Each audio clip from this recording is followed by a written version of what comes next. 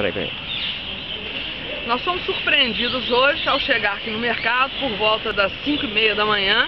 Os comerciantes que têm um movimento forte no sábado, nós fomos surpreendidos com o trânsito no entorno do mercado todo é, impedido em função de um evento que começa a concentração às 13 horas com saída às 16 para o Carnaval de Divinópolis, que nunca teve, pelo menos tem a iniciativa de um bloco.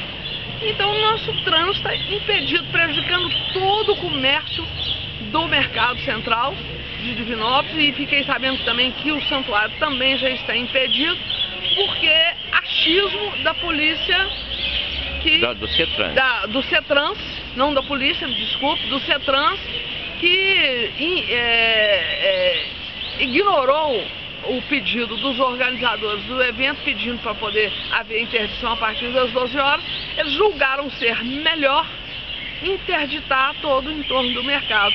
Nós estamos aqui pagando aluguel, pagando imposto. No sábado, o indivíduo que chega para poder comprar um pente de ovo, chega, vai embora, porque não tem onde parar, não tem como parar.